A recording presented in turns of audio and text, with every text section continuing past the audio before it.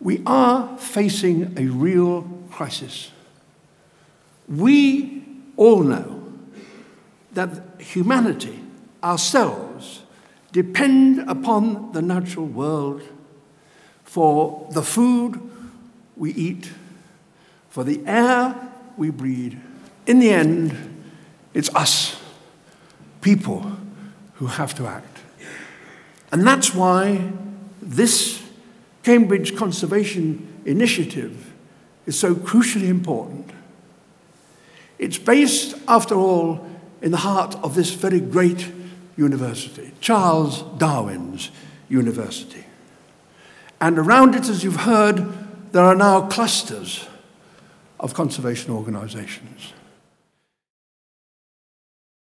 Understanding how the natural world works is of paramount importance to the society that we serve.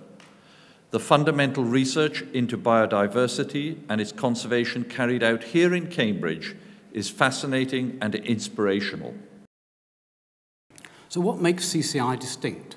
Well, first of all, it brings together people and institutions with different remits research, policy, practice, and education, different networks local, national, international, NGOs, governments, academia, and business and different disciplines, including natural, social, and physical sciences, along with management, technology, and the arts and humanities. Striving to become leaders in a field that must address serious threats to an ever changing planet, we are privileged to have the opportunity to thrive in Cambridge's unique conservation environment. I speak for both myself and my classmates when I say the Masters in Conservation Leadership has greatly strengthened and broadened our understanding of conservation issues.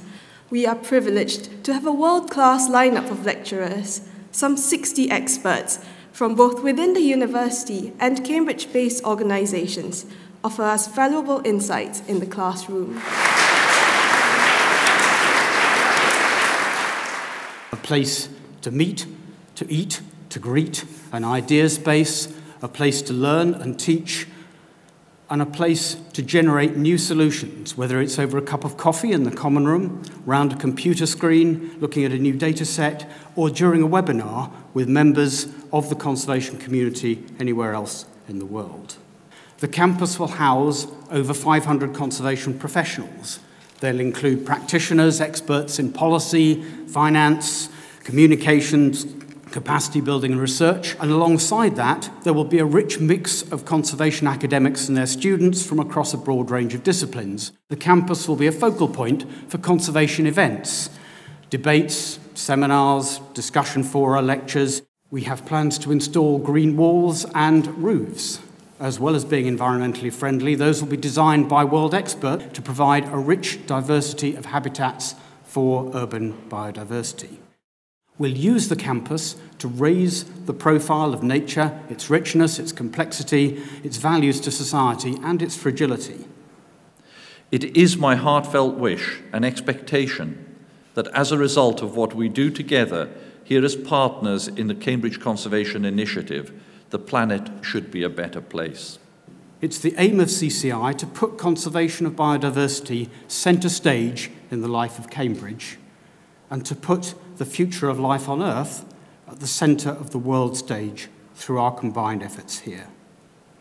The world is there, it's in great peril. Something has to be done.